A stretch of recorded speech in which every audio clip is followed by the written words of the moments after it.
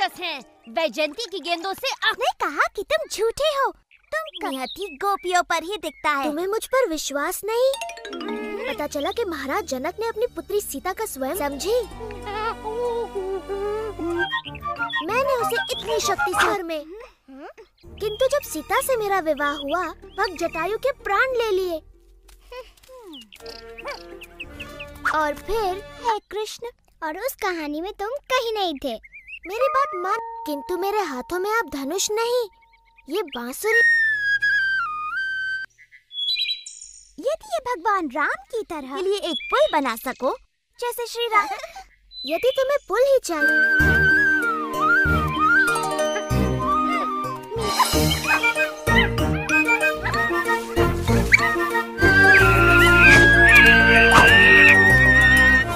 गोपियों के लिए सरोवर पर एक